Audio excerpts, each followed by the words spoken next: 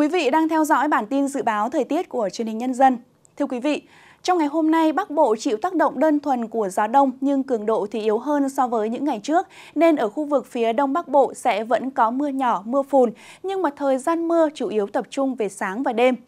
Đến trưa, trời chuyển tạnh giáo hơn và có nắng nhẹ về chiều, nhiệt độ vì thế sẽ tăng lên ngưỡng là 22 cho đến 25 độ.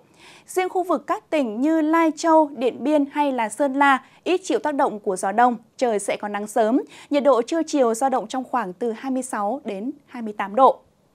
Ở miền Trung, khu vực Thanh Hóa đến Hà Tĩnh lúc này nhiều mây, có mưa nhỏ, mưa phùn và sương mù, trời vẫn nhất nhẹ với mức nhiệt là thấp dưới 20 độ. Tuy nhiên, trạng thái mưa ẩm này sẽ duy trì nhiều trong buổi sáng. Đến trưa chiều trời sẽ tạnh giáo hơn và cũng bớt rét hơn khi nhiệt độ tăng lên ngưỡng 23 đến 25 độ.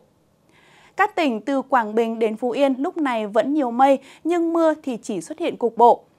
Trong ngày hôm nay, ở khu vực này mây sẽ mỏng dần và trời chuyển nắng. Nhiệt độ trưa chiều sẽ tăng lên ngưỡng là 26 đến 28 độ. Các tỉnh Khánh Hòa, Ninh Thuận và Bình Thuận do có nắng từ sáng cho đến chiều nên nhiệt độ cao phổ biến từ 29 đến 32 độ.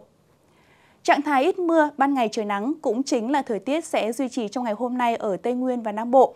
Trong đó, Nam Bộ vẫn là vùng có nắng mạnh và nhiệt độ cao nhất cả nước với mức nhiệt phổ biến từ 31 cho đến 34 độ. Riêng một số nơi ở miền Đông có nhiệt độ cao trên 34 độ. Còn ở Tây Nguyên, chiều nay vẫn duy trì ngưỡng nhiệt dễ chịu là từ 28 đến 31 độ. Trên biển, trong ngày hôm nay, vùng biển từ Ninh Thuận đến Cà Mau và vùng biển phía Tây của khu vực Nam Biển Đông, bao gồm vùng biển phía Tây huyện đảo Trường Sa, vẫn có gió Đông Bắc mạnh cấp 5, có lúc cấp 6, giật cấp 7, sóng biển cao từ 2 đến 3,5 mét, biển động. Các khu vực khác, gió yếu hơn. Và sau đây là dự báo thời tiết trong 3 ngày tại các khu vực trên cả nước.